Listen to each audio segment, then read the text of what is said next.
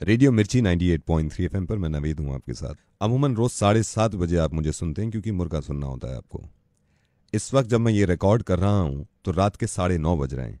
Studio में मैं अकेला नहीं हूँ, स्टूडियो में रोहन भी हैं, जिनको मैंने बुलाया है।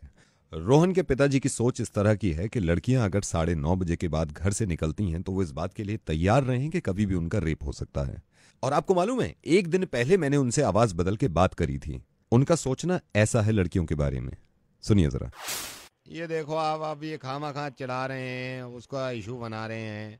अरे यार वो सही कह रहा है कि जब मतलब साढ़े नौ घर से निकल रही है लड़की तो फिर क्या हो रेप ना हो तो? तो कब से कह रहा हूँ ये बात सबको बोले जा रहा हूँ कुछ सुनता ही ना। तो यहाँ पे अब साढ़े नौ बजे जब लड़की निकलेगी है फिर क्यों हमारी लड़की का बलात्कार होगा? क्या माँ बाप है क्या उनकी अकल है? साढ़े नौ बजे के बाद तुम अपनी रोंडिया को घर से बाहर भेज रहे हो तो क्या होगा? ना समझ में आ रही इनके तो क्या करें? ठीक है फिर बाद में बात करें किस दिन? चलो चलो। मुझे अफसोस है कि बहुत गलत सोच है आपके पापा की। शुक्रिया कि आप इस वक्त जो स्टूडियो आए। तो परेशान तो नहीं है आप? नहीं Naveed thank you so much पिताजी को कॉल लगाऊँ? जी। हेलो? पापा ये मार रहे हैं मेरे को यहाँ पे दोनों पकड़ के साले। हेलो? हेलो पापा। अरे कौन कौन कौन मार रहा है तेरे को? पापा इन दोनों ने पकड़ के रख लिया मेरे को दोनों मार रहे हैं। कहाँ पे किसने पकड़ा तेरे को? पापा ये दोनों खड़े हैं मेरे को वो बहुत देर से मार रहे हैं पापा पता नहीं क्यों पकड़ के रखा है मेरे को हेलो? पापा हेलो? हेलो पापा पापा। हेलो?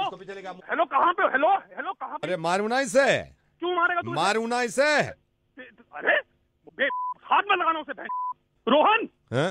तो ये मुझे ये बता तुझे क्या चाहिए? चाहिए क्या क्या कुछ भी ना चाहिए मुझे। इसकी गलती तो थी पिटेगा भाई। क्या क्या क्या क्या क्या? साढ़े नौ बजे घर से बाहर निकल रहा है और पूछ रहा क्यों मार रहे हो? हैं? साढ़े नौ बजे? इसको इसको इसको! अबो इसका मुँह बंद कर। तो हाथ हाथ लगाओ तो रोहन किया क्या है कुछ भी नहीं किया भैया साढ़े नौ बजे घर से निकल रहा था साढ़े नौ बजे घर से बाहर निकलने में क्या कर दिया इसने? तो क्या कर दिया उन लड़कियों ने जो साढ़े नौ बजे घर से बाहर निकलती हैं? अबे किसकी लड़कियाँ? सुधीर साहब, आपके घर की लड़कियाँ मेरे घर की लड़कियाँ, हमारे घर की लड़कियाँ। अपने लड़के की पिटने की आवाज़ सुनाई दी साढ़े नौ बजे तो जान निकल गई आपकी। सुधीर साहब, मैं हाथ जोड़ के सबसे पहले आपसे क्षमा चाहता हूँ, क्योंकि रेडियो पे मैंने आज तक किसी का इतना दिल नहीं दुखाया।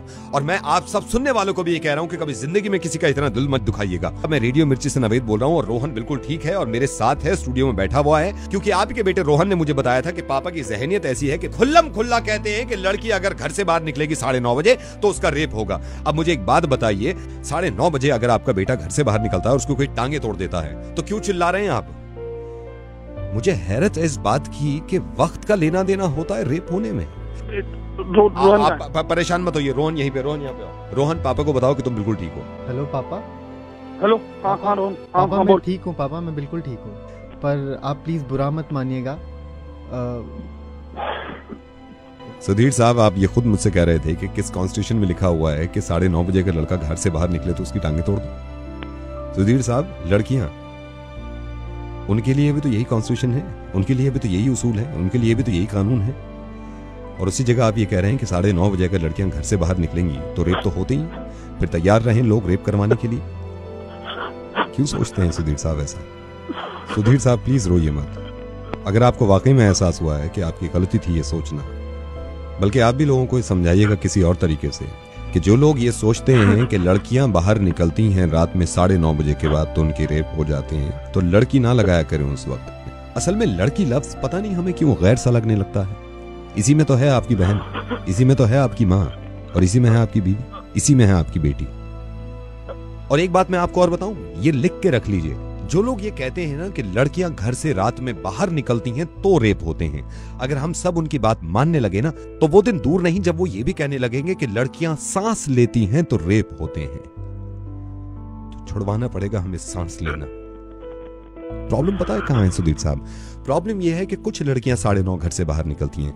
मैं ये कहता हूँ कि हिंदुस्तान की इतनी लड़कियाँ साढ़े नौ बजे घर से बाहर निकले इतनी लड़कियाँ कि ऐसे लोग खौफजदा हो जाएँ कि ये हो क्या रहा है और किसी का माई का लाल किसी को छू ना सके।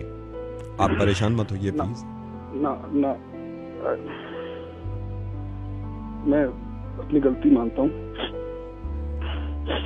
दोबारा सबको बताना सब सब आदमी लोगों को बताना चाहता हूँ कि पाबंदियाँ पाबंदियाँ हमें अपनी अपनी लड़कियों पे नहीं, बलात्कार करने वालों पे लगानी चाहिए बहुत बहुत शुक्रिया सुधीर साहब यहाँ से रोहन निकल रहे हैं और ये तकरीबन आधे घंटे में आपके घर पहुँच जाएँगे। और अब आप सब सुनिए।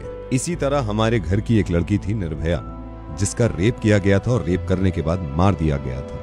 सुधीर जी की तरह लड़कियों के बारे में सोच इसकी भी थी। मुकेश की, जो इस रेप केस में प्राइम एक्यूज है, कि गलती निर्भया की थी कि वो साढ़े नौ बजे घर से बाहर निकली। अब हम क्या कर सकते हैं? इस माशरे को ठीक कर सकते हैं और कम से कम ये कि जो निर्भया चली गई, कम से कम निर्भया को ऊपर जाके तो इतना इतमान हो कि जो मेरे साथ हुआ वो कभी किसी के साथ ना हो।